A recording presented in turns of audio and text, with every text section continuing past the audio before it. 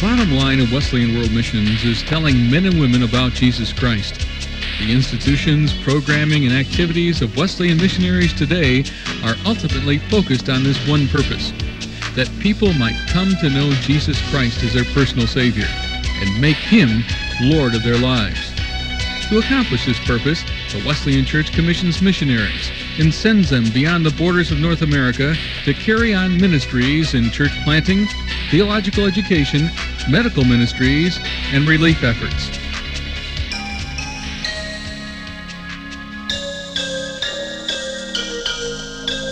The goal of Wesleyan World Missions is to see 2,000 overseas churches by the year 2000.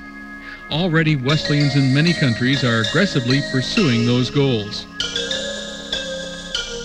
In Australia, for example, 30 churches have been started in the past seven years. Their goal is to have 90 churches by the year 2000. The church in the British Isles has taken a bold step this year, reorganizing into two districts under a national conference and launching a Bible school ministry. The new work in Germany is taking hold. A German pastor and wife have been installed this year in a recently established place of worship. A small congregation is developing. We expect to see further growth in the coming year.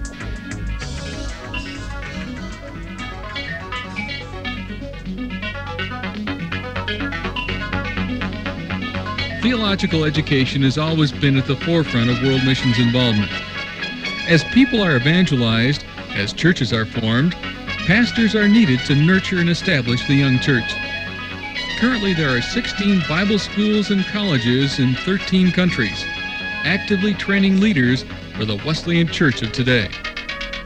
In Swaziland, for instance, students from the war-torn country of Mozambique risked their lives in crossing the border just to attend Emmanuel Wesleyan Bible College enabling them to minister to their Wesleyan congregations back home.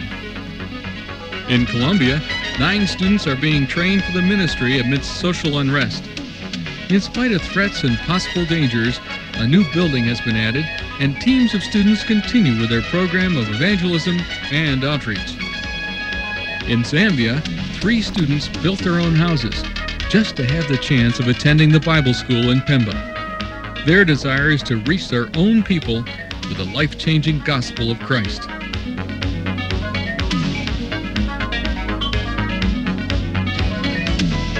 The need for pure medicines and quality medical care is great in the world, especially in many parts of the world where Wesleyan World Mission serves. Last year, over 377,000 patients were seen. These patient contacts often are combined with opportunities to share about Christ. Many hundreds of lives are changed each year, both medically and spiritually, through the medical outreach ministry. Even though the staffs of the three hospitals and 14 dispensaries are exhausted at the end of their day, they realize that they're only reaching a very few of the people needing their help. More will be waiting for them in the coming new day. People who have needs beyond the medicine they receive. In times of emergency and natural disaster, Wesleyan World Missions has been on the scene with assistance. In St. Croix during Hurricane Hugo, following the earthquake in the Philippines, helping Liberian refugees,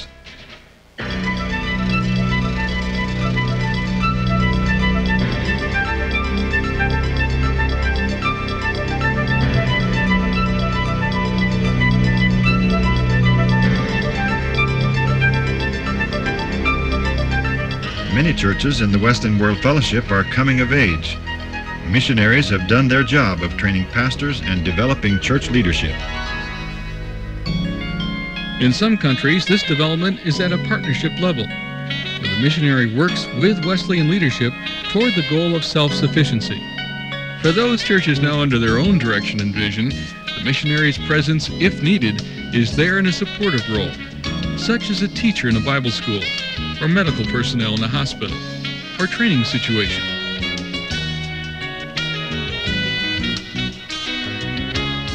As a church matures, it begins to reach out, either in new areas of its own country or other countries of the world.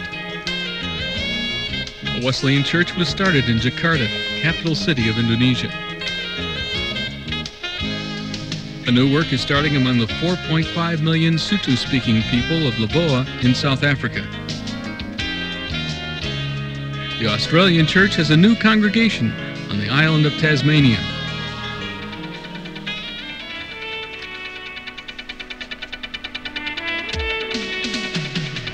Wesleyans are responding to the open door for evangelism. Eastern Europe is open for specialized Christian workers, and there is a window of opportunity for the Wesleyan Church.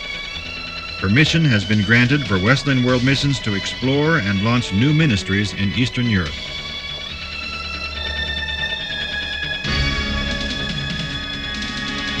Wesleyans across the church are giving to make this possible.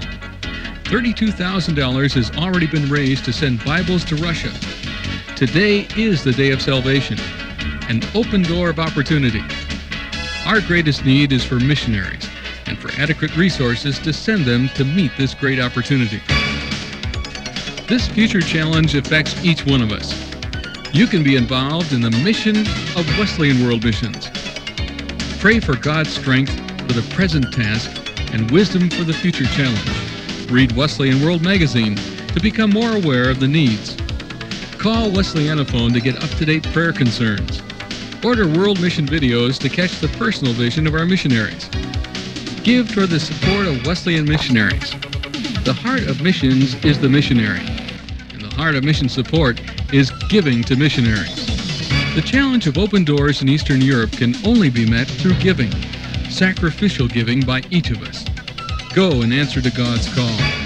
As Christians, God has a job for each of us to do. First, we need to start doing it here at home. Second, God may want to use the gifts and talents He has given us overseas. Be open to answer His call for part-time or full-time missionary service.